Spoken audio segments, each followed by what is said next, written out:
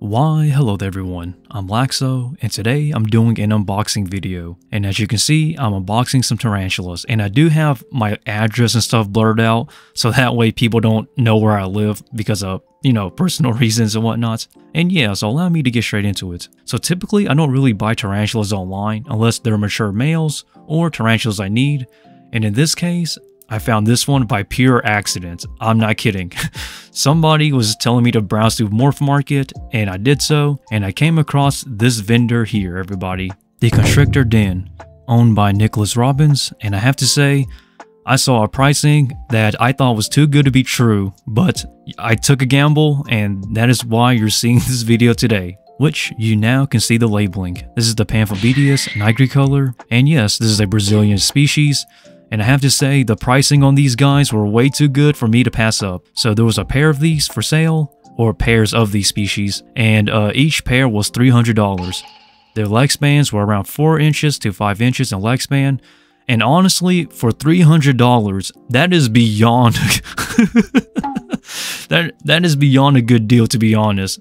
I thought that was too good to be true, but I contacted the business and now we're here in this unboxing video.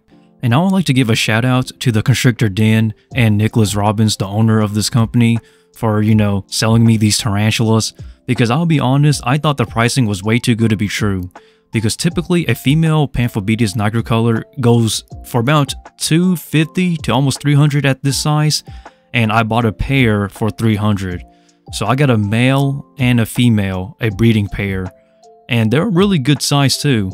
To be honest, I'd say the female is probably ready to breed at this size, but I'm just gonna raise them up until the males mature and then I'll breed them together. So yeah, so this is a future breeding project as of now. So prepare for the future guys once this male is mature. And I am not sponsored by this company or this business at all. This is just me buying as a customer and leaving a positive review because I have to say everything was a 10 out of 10. So the tarantula packaging was pretty good itself. The heat pack did fall off from the ceiling of the styrofoam when I opened, you know, the box and whatnot. But that's not really a big issue because sometimes that happens, so that's fine with me, honestly, because the tarantulas came in alive. When it comes to packaging tarantulas and moss like this, or sphagnum moss and whatnot, I actually prefer if they're packed in paper towels, but that's just a preference thing for me, honestly. But as a tarantula breeder and someone who buys tarantulas for breeding and whatnot, I thought this was actually pretty solid, like all around. So for me personally, I don't have any real complaints, so this is a pretty solid unboxing to me honestly. Everything came in alive, healthy, and nothing was dead, nothing went wrong, everything went right. so I'll actually leave a link to them down below if you want to check them out, the Constrictor Den, so please feel free to do so. I'll leave a link to the Morph Market down below, so please go check them out and tell them that Laxow sent you guys here if you're gonna buy something because that would be pretty interesting to be honest. As a tarantula breeder myself, who has actually bred tarantulas for, you know, a while now, this was a pretty solid and a very smooth transaction. And yes, currently as I'm recording this, I'm actually busy doing tarantula breeding projects, and there is a breeding video coming on Friday, guys, so stay tuned. And I know that I upload videos only on Fridays, but today's an exception because I gotta do this review, and I gotta give you my honest thoughts.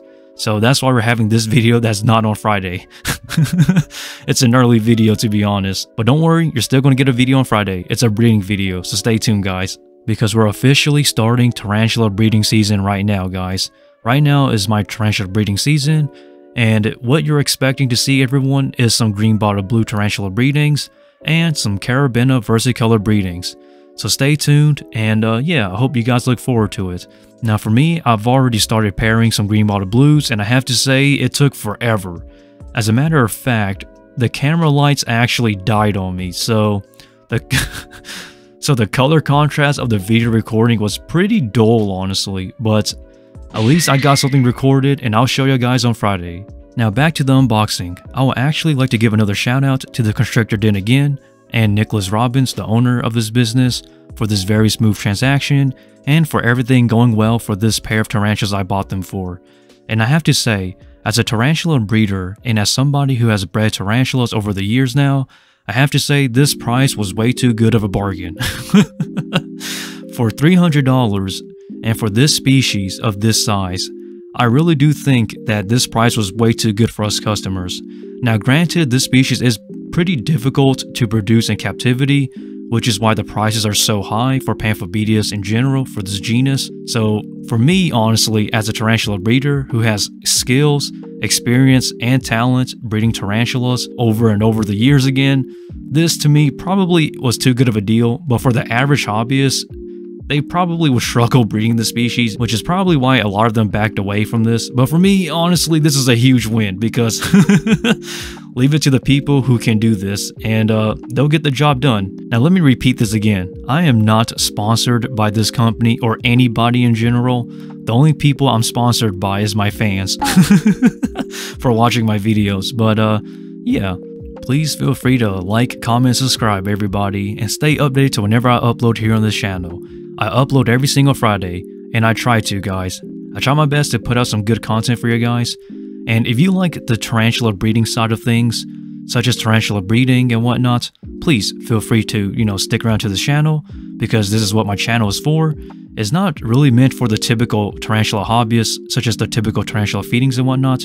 It is more so focused on the tarantula breeding side of things so for those who want to learn and for those who want to observe tarantula breeding from an actual tarantula breeder, then please feel free to stick around and see what I'm up to. And with that everyone, I'm going to leave a link to the constrictor den down below to where I bought these pair of tarantulas, so please go check them out. And also guys, with that, I'll see everybody on Friday for a tarantula breeding video for the green bottle blue.